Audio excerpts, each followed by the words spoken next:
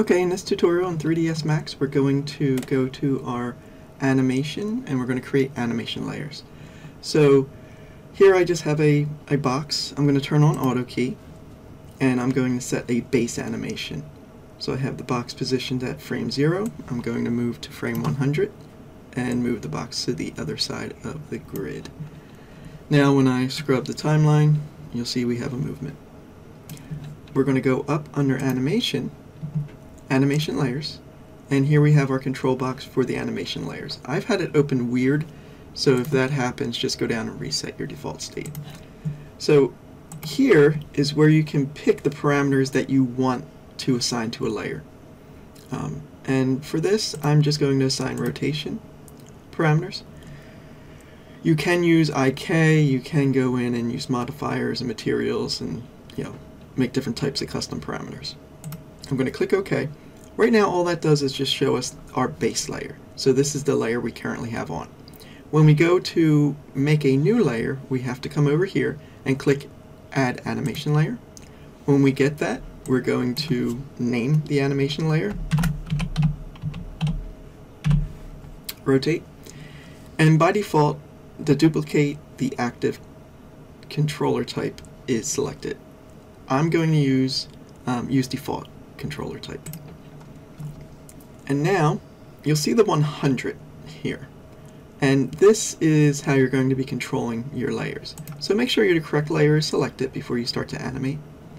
And I would say open up the Modify tab and select your layer here to make sure it's selected and you're on the correct layer. And then we can add our animation to this. So we're at frame 0. I'm going to go to frame 100 and I'm going to add um, angle snap. Click on my rotate tool and I'm going to rotate this 360 degrees. So we get one full rotation.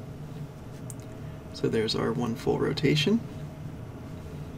And do be aware that your tangent type when you're animating can cause this to slow down and speed up and that's part of your animation tangent. So you may want to go into your F-curve and make adjustments to that. We're not dealing with that right now. So, I have found that this can get a little wonky and give you results that you don't expect. So play with it before you go into an animation that you've already spent a lot of time on, um, you know, especially if you're doing something like a control rig, and make sure you're getting the results you expect.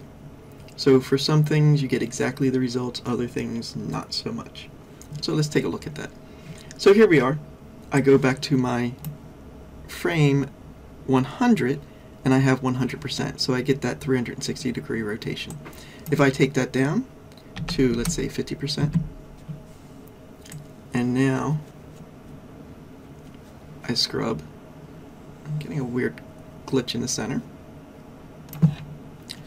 Um, if I go down to 20%, and it is keying it because I have auto key on, Again, I'm getting a weird glitch. So I may need to go into my curve editor, figure out what's going on, why this is happening, and make adjustments to it. And if I were on just the base layer when I made this, that probably would not be um, happening to me, but it could. Okay, so we're back at 100%. And if we come around, I'm no longer getting that glitch. So again, you could get weird results. Um, I'm going to go back to about 50% and I'm going to add to the position. So I'm going to add a new position, turn off rotation, and then add a new layer. I'm just going to call this move. Again, I'm using the use default controller type and make sure the correct layer is selected. And now I want to go and grab my move tool and move it up. So I'm not going to move it up a lot. I'll move it up a small amount so you can see what we're doing when we play with this. So here we are, and it moves up, and now it's still up.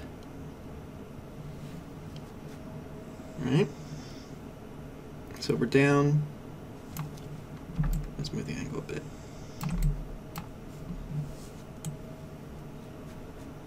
Down all the way. And now we're up. Let's move it up slightly more so it's clear. and we go on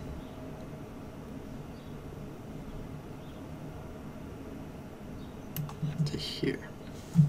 So at this point, I don't want it up. I'm going to go to zero, and we're back down on the floor. But you'll see we have to change this one, pack to 100 weight to get the height that I want it. Okay. And now, maybe I want this to be higher. So if I go and I adjust this, I could pull it higher by adding to the percentage. So that's nice. And again, just be careful when you go to use this.